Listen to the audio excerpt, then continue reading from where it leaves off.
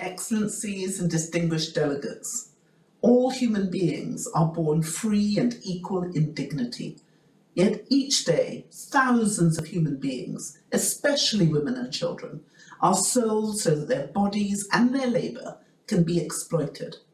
More than 40 million people, including one in every 150 people in the Commonwealth, is in this pernicious condition.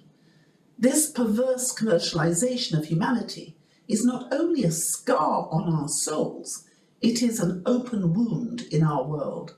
And as Madiba said, to deny people of their human rights is to challenge their very humanity. The resolve to dig deep and redress this scourge is strong across our family of nations. The last time Commonwealth heads of government were together, they committed to taking a leading role in the global fight against human trafficking. Our Secretariat is working with Member States to make this commitment real, united in the urgent aspiration to end the exploitation of anyone, anywhere. In 2022, our leaders will come together once more in Rwanda.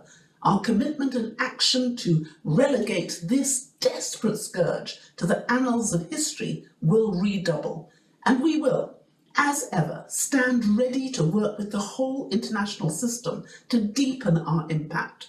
The battle for human freedom and justice is never hopeless, and there is no evil so entrenched that it cannot be eradicated. So it must be with human trafficking. Thank you for the opportunity to contribute to this vital high-level debate. I look forward to receiving its outcomes.